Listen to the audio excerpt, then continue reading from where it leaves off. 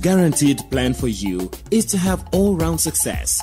Therefore, do not be conformed to this world, but be transformed by the renewing of your mind. For as a man thinks in his heart, so is he.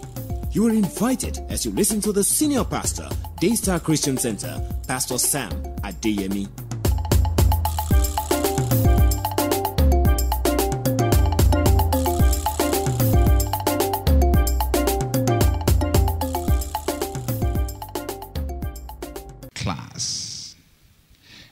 This morning, I want us to just discuss the characteristics of an entrepreneur. The characteristics of an entrepreneur, or the traits of an entrepreneur. Because some people just write themselves off, you know. Ah, me, I can never do business. People like me don't start business. So we want to find out the kind of people that start business and see whether you qualify or not.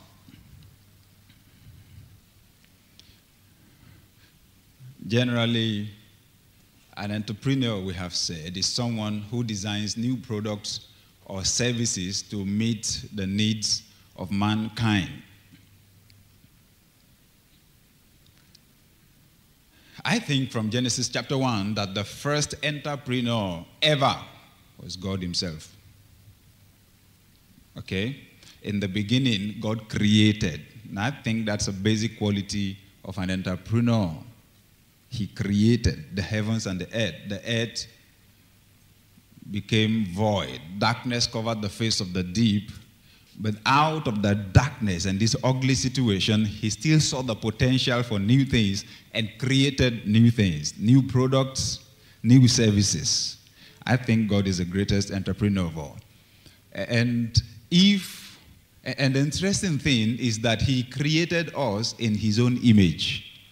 So if you are a child of God, you have the character of God, I think you are in a position to be a dreamer, to be a creative person, to be an innovative person, and especially to be a leader and a good manager of resources.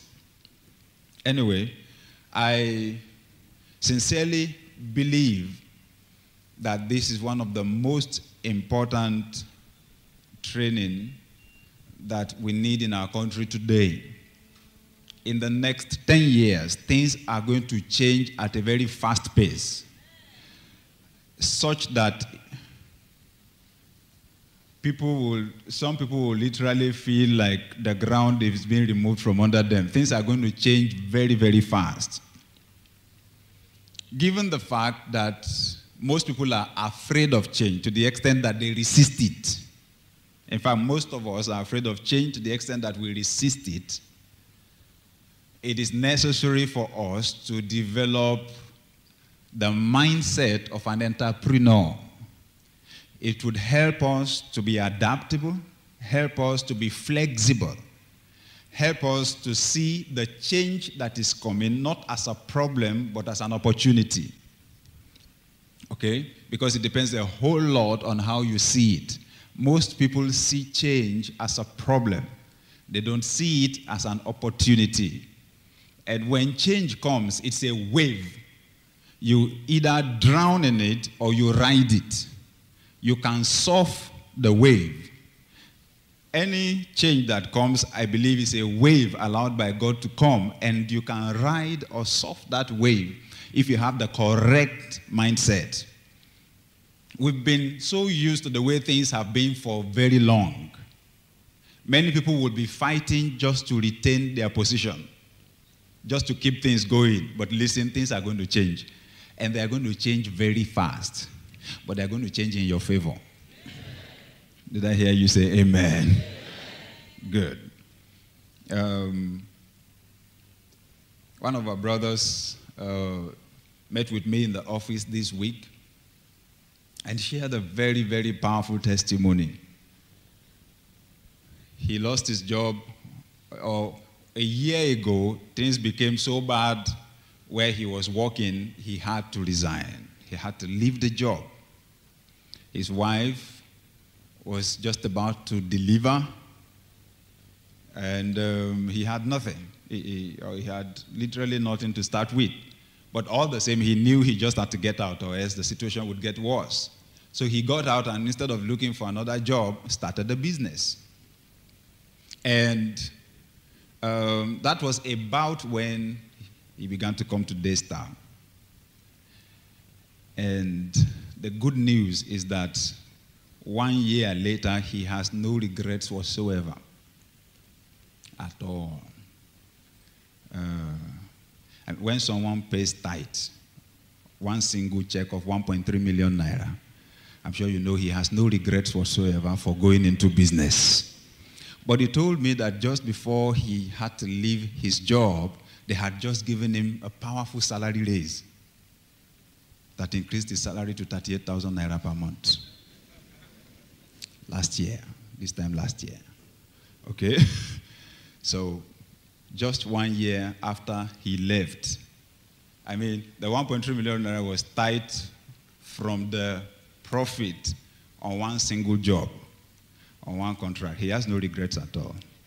Amen. He was very excited. He is very happy. Amen. You don't need to preach a sermon to get him to sing praise and worship now. He's excited. All right.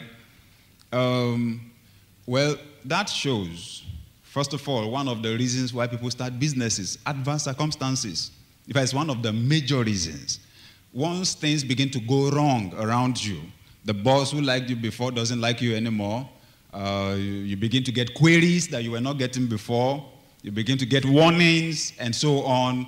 And sometimes it can happen without you actually doing things that are wrong. But I say this how do we know that the season is changing? Is it not when things around us begin to change? Is it not when rain uh, does not fall as frequently as it was falling before? Is it not when the leaves begin to go yellow and begin to drop off the trees? Is it not when the grasses begin to go brown that we suddenly realize that the season is now changing?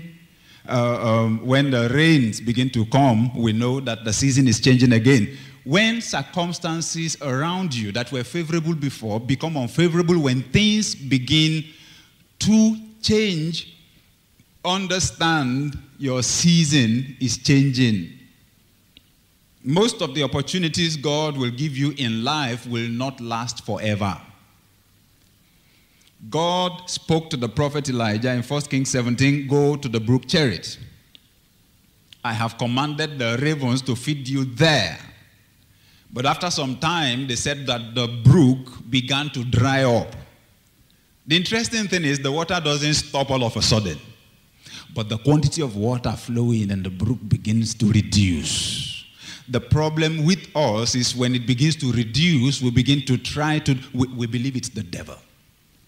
And we begin to rebuke the devil that is not allowing the water to flow. And we begin to try to find whatever we can do to get the quantity of water to increase. But Elijah prayed, and the Lord told him, Fasting and prayer will not work here. There's no point knocking on a door that God Himself has allowed to close. Move on to somewhere else. He said, Go on to Zarephath. I have commanded a widow to feed you there. So, adverse circumstances generally motivate people to consider starting their own businesses. And uh, there's another reason inadequate compensation. Inadequate compensation. When a person feels that he or she is just being used, when people feel that they are not being adequately rewarded for the kind of work or the level of work they are doing, it tends to encourage them to go on to start on their own. Um, planning is winning. If you sit down to plan your future, it helps you a great deal. You know, Moses said, Teach us to number our days that we may apply our hearts unto wisdom. You'll be surprised. How much wisdom it would impart into you if you sit down to plan 20 years from now, 30 years from now, 40 years from now. Uh, especially if you're a Christian man or woman and you have read Proverbs 13 22, where it says that a good man leaves an inheritance for his children, and his children's children after him are blessed. When you, when you sit down to really consider that and ask yourself, if something happens to you now, what will you leave for your children? not to talk of your children's children. When you sit down to consider that, it imparts, it opens your heart to a lot of wisdom. Now, for many people, when they sit down to calculate on that, they will get to realize that their current level of income just can't do it. By the time you set a time pace or, or a time period or goal for you to become financially free and for you to be able to put up an estate or a legacy you may suddenly realize that there's nothing. Like my lawyer told me, uh, he spoke to the financial controller of a big company, very wealthy man, highly placed. Uh, kids go to the best schools around the world. And then the man wanted to write his will, and when they were to list his assets, he found out he didn't have anything. He was shocked. And then it occurred to him that if something happened to him then, those kids who were enjoying the best in the world would just crash. Their level of comfort and welfare would crash. And that gave him a lot of wisdom to plan. So when people think like that, sometimes they suddenly find out that the current level of income they are getting or salary they are getting just can't get them to their destination financially. It does encourage people sometimes to start their own jobs or their own businesses. And of course, some other time, it's just the fact that the owner of the company is enjoying most of the money and paying everybody else peanuts. Then you have the saying, monkey the walk, baboon they chop. So the monkey too decides to become a baboon, okay? so that he can chop, all right? you can't contest the fact that uh, the greatest benefits will always be derived by the person who took the risk to start the company and who takes the responsibility to get it running. And if you feel, come on, I, I, I deserve something better, sometimes people start businesses for that reason. And then, of course, uh, another reason is politics and bureaucracy. Some people can't stick it. Some people just can't stick it. In fact, some people just can't even stick someone giving them orders. They can't work under somebody else for too long. And it's good you follow your, heart instead of trying to tear somebody's company apart. In fact, before you do, they will sack you. So, excuse me, it's good you follow your heart and get moving. Anyway, uh, um, so there's also the desire for independence. The desire for independence. You want to be your own boss. You're tired of being. Um, in our book, Parable of Dollars, uh, there's a chapter there titled Money Power. And there we talked about the fact that it will help you a whole lot if you can de- define your own values as an individual. For some people, independence is a value. Like, I value independence a whole lot. Freedom to make my decisions, freedom to do it, freedom to try it, freedom to, to, to experiment, freedom to find what works, and then to be able to focus on what works, freedom to be able to improve, freedom, freedom to be able to design, and to be able to carry out my designs. Some people want independence. And then one other reason, an important one why people start their own business is financial freedom. Financial freedom. Like I said earlier on, you can just find out look, if I keep going, taking one step after the other like this, it won't pay me, and I don't have much time. I want to make it uh, in 10 years' time. I want to hit my goal. That's a good enough reason. And for some people, they desire, they have a sense, they, they want a sense of achievement. Some people want to succeed. Some people just find out they like to succeed. Okay? I'm like that. I, I like achievement. I like success. It makes life, life fulfilling, makes life worthwhile. I'm goal oriented. Okay? So you may just find out you're like that. Some people um, start businesses because they desire to have a sense of achievement. Anyway, remember what I said.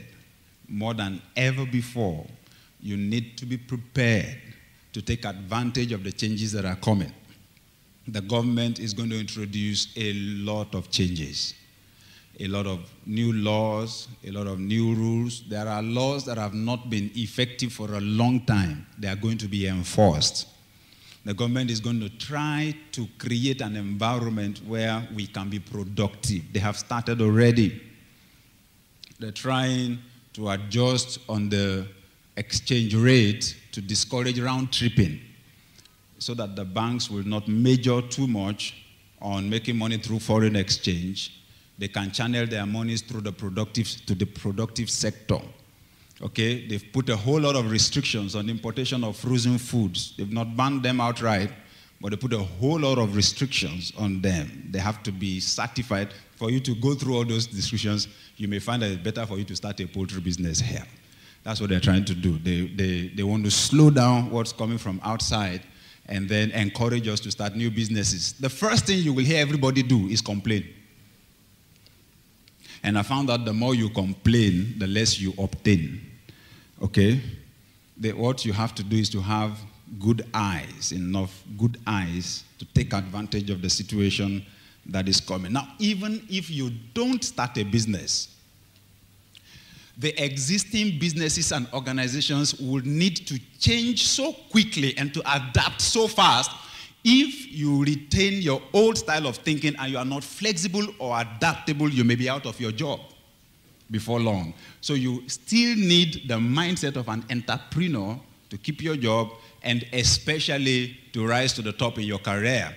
It is those who are innovative, those who are creative, those who can help to save time or save money or create new sources or avenues for their companies, those who can, in fact, start a new line of business altogether for their organizations or companies that are going to be able to survive uh, the change that is coming in the next few years. You will make it. That's why we are here. Amen. All right, now, there is no particular personality type or temperament trait that is the best for business, for starting a business or for being an entrepreneur. That's what I found out. I used to think that there were some personality traits that were not suitable.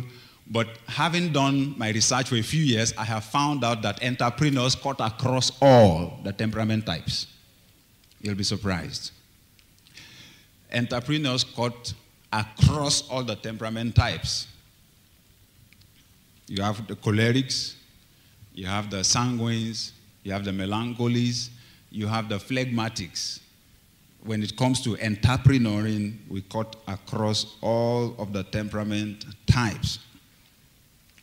Entrepreneuring is also not the exclusive reserve of any particular sex or race or age group. Okay? Some people think, okay, maybe men, men are better entrepreneurs than women. I'm sorry you're going to have a whole lot of women now who are entrepreneurs. In fact, entrepreneuring a whole lot of times suits a woman's agenda or program better than keeping a job. Or else she has to keep, keep a job that will make it very, very flexible for her. Especially when you live in the city like we do. It's too fast paced. It, uh, if you take a, a, a job that will keep you in the office till 7 o'clock or 8 o'clock, and you want to raise children and build a family, you may just find out a whole lot of time that is not suitable for a woman. And it may just be better for her to start a small business. Okay?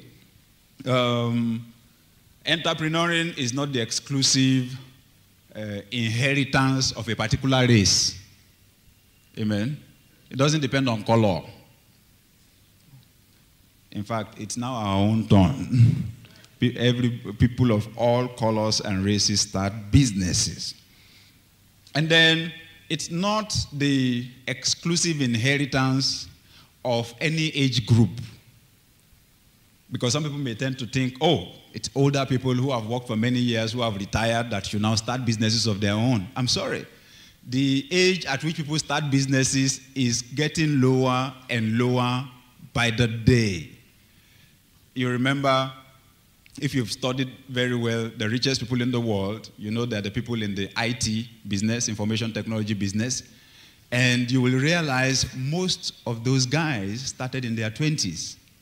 And you have loads of them in the United States now who are millionaires in their 20s. Millionaires in their 20s. So now you are getting to find people in their 20s who are starting business. In fact, you are getting to find people in their teens who are starting business. Anyway, what I'm trying to say is this you are not too old to start a business, neither are you too young to start a business. Amen. Okay? Um, and then it doesn't particularly belong to any level of educational qualification. Again, some people would disqualify themselves just because they don't have a university degree.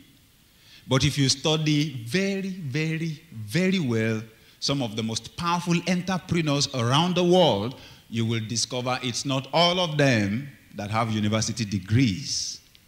The richest man in the world as of today is Bill Gates of Microsoft. And Bill Gates dropped out of the university in the first year. Amen. By now, everybody should have realized a university degree does not automatically guarantee you money. Amen.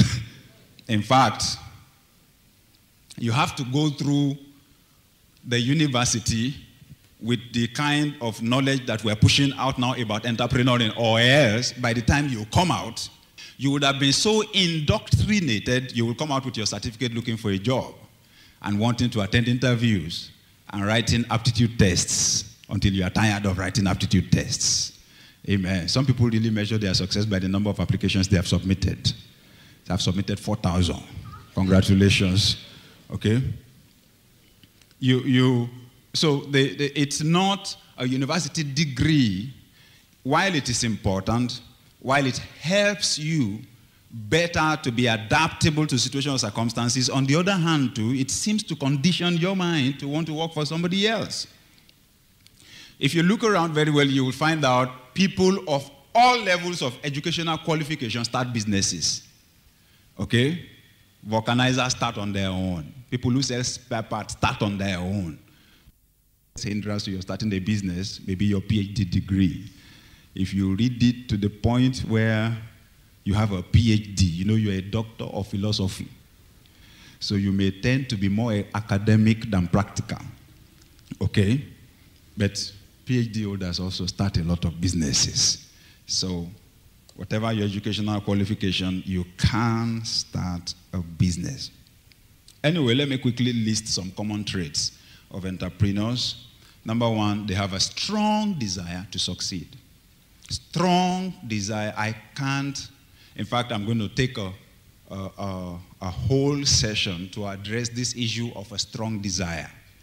It's a major, major, major requirement you can't go into entrepreneuring just with a mere wish to succeed. It's going to be a passion. It's got to be a strong desire. Like uh, this uh, Christian businessman, an insurance magnate in the United States, A.L. Williams, put it. He said, You've got to want it so bad you can't stand it. That's how he describes it. I want it so bad I can't, I can't stand it. Okay? So I found that entrepreneurs need that.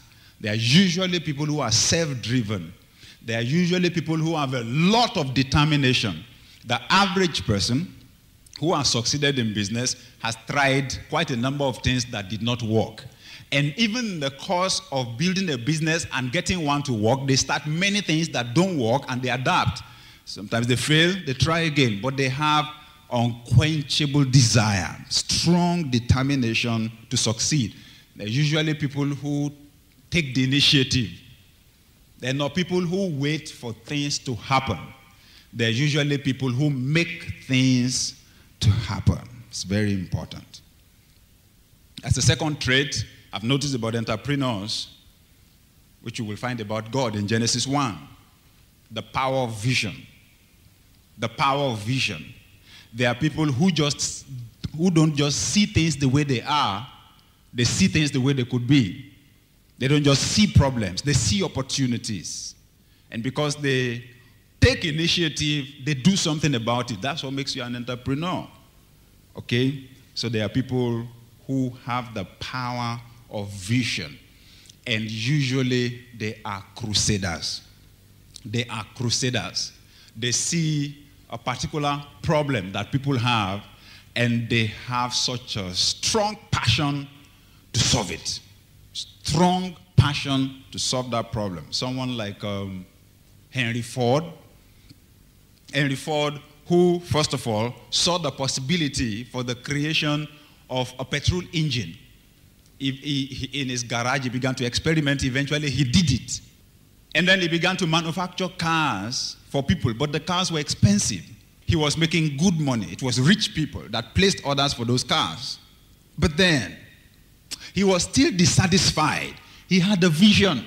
Only rich people rode cars then. He said, Come on. I see the average family in America being able to afford a car. I want them to ride cars. So he had to find a way of making the car cheap.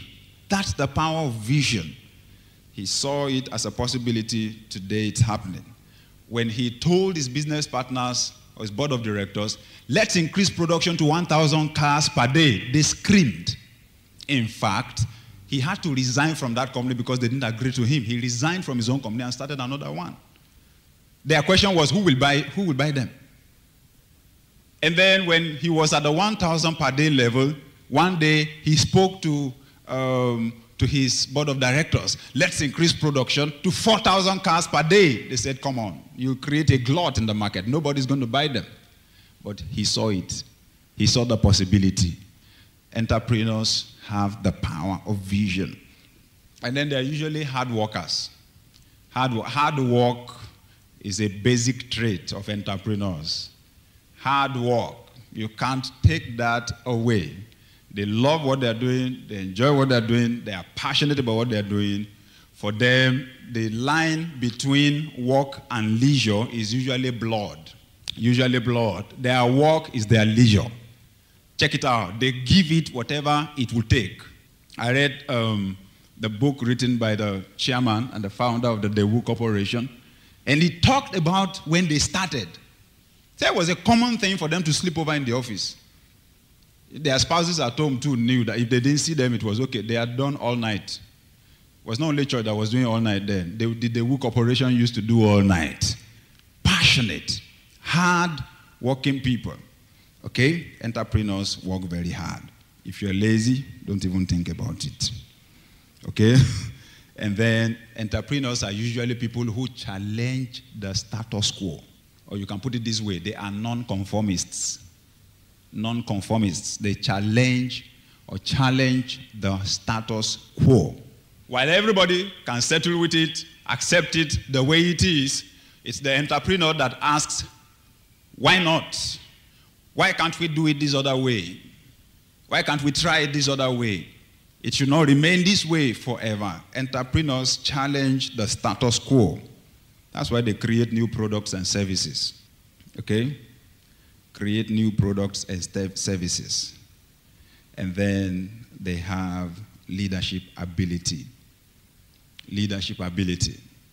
While they have clear goals, they have the ability to share their passion, their vision with other people. They have the ability to mobilize other people and galvanize them to action.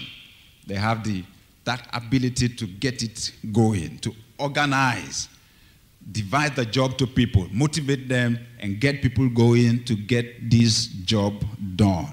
You can't do without leadership ability if you're starting out afresh. Interestingly, these are traits that should be normal for the average believer. If you live in line with the Word of God, if you are baptized with the Holy Spirit, you should see new things. Be not conformed to this world, but be you what? Transformed by what? The renewing of your mind. So it's the believer that should see possibilities in the midst of impossibilities, that should recognize opportunities in the midst of problems you will see new things. You see, this country is loaded with opportunities. And like I said, in the next 10 years, there's going to be rapid change. There's going to be an explosion of opportunities. The average person will not recognize them.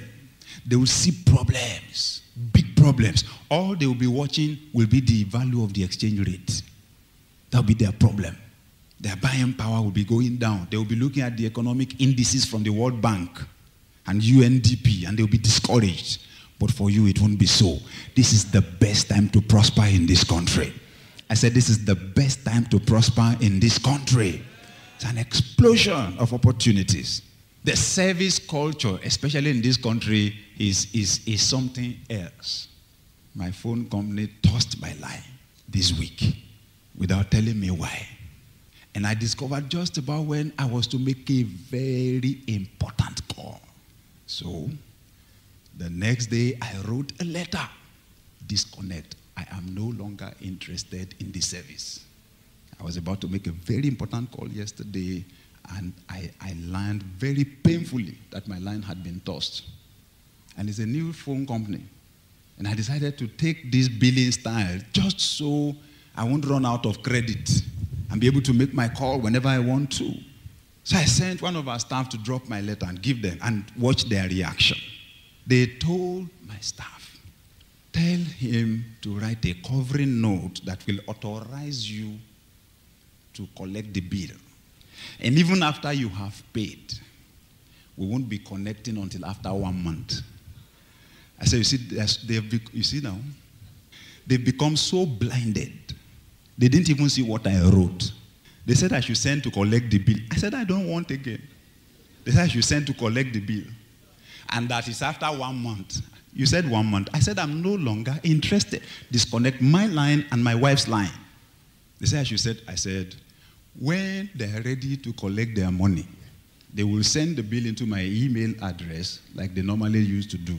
I should pay my staff, pay the transport money to come and collect the bill because that was what they met Nitel doing that has been holding all of us to ransom. Thank God, a new, a second national carrier is coming. Nitel adjust or die. It's the plain truth. Toss everybody's line to get their attention so that they can come to collect their bill. And it's the money we are paying that they used to pay your salary, that you used to pay your children's school fees. Our thinking has been turned upside down, but thank God. That's why we're here. I said, that's why we're here. Ah, some people here will own uh, telecommunications outfits. Uh, th- those who will own TV stations are here. Newspaper houses, radio stations. We will run them out of business. It's grow or go. Grow or go. Change or die when we show up on the scene with superior service. Did I hear you say amen? amen? You can start in your little way wherever it is. Anytime you need a service and you are messed up, please understand you just encountered a potential area for business. One man wrote to uh, the producer of a program in the United States, of a TV program. I want the transcript of that program. It took four weeks before they could get the transcripts to him. He said, Wow. And these were popular programs watched by, this, this particular one was a popular program watched by millions of people. So he wrote to the producer of the program, I can see you have challenges producing the transcripts. Can I produce the transcripts for you? And anybody who wants the transcripts, all you have to do is just put my phone number and email address. Just show it on the screen and tell anybody who wants transcripts to write to that address. I will help you. I will transcribe. You know what he did? You know what he did? He watched a particular program one night, transcribed it, he recorded it, transcribed it, typed it before morning, and as soon as it was daylight, he took it to the producer of the program. Said, This was it. This is the transcript of the program that you had last night. So, can I do this for you? I'll, I'll, I'll send it to people for a fee. And I'll even pay you royalty on each copy that I sell. Ah, what, what will it cost them? It was already a big problem for them to send to people. It took them four weeks to get people's transcripts to them. Say, Go on. So he sells each one for between three to five dollars. And sometimes there are some particular episodes or editions that are explosive. And people request for them big time. There was a particular one, uh, people requested for 100,000 transcripts of a particular episode. And these are daily programs. Just one. Three dollars. One hundred thousand copies. Is three hundred thousand dollars in one day.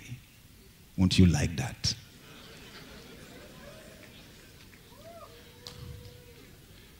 So as you move around in this country and experience shoddy services, please let your eyes be open. It's the dawn of a new day in this country. Stand to your feet with me. The government is very, very important. The state of the government. Politics is very critical to business. You see, where when we get to that level, we'll begin to discuss that too.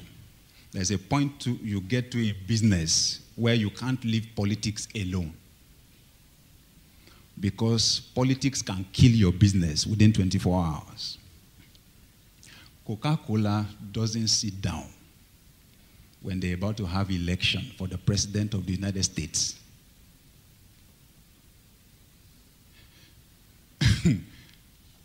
okay, there's a particular company in the United States, they are the ones who choose the minister for finance.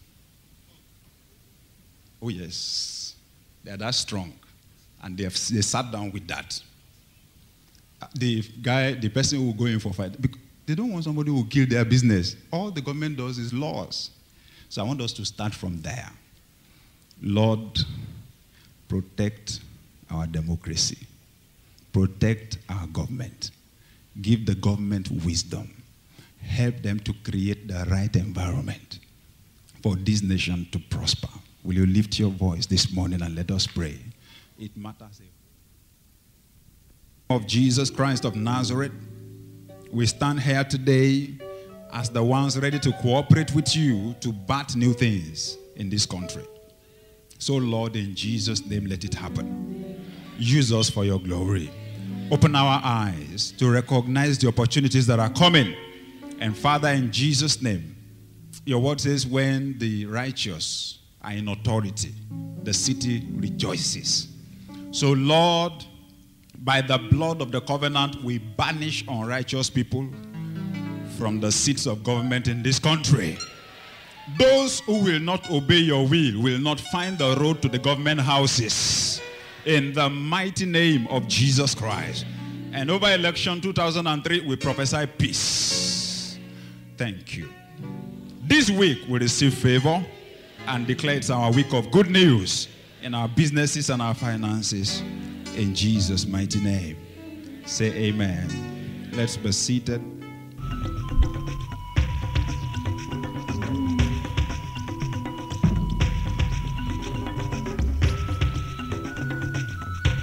We know these words have triggered a process of transformation in your life. However, it is not what you hear that counts, but what you do with what you hear.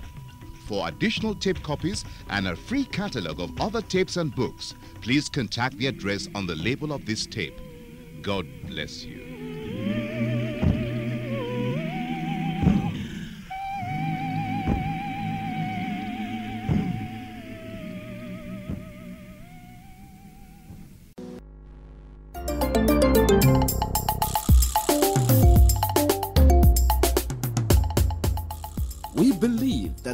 Wonders of the Word of God have begun.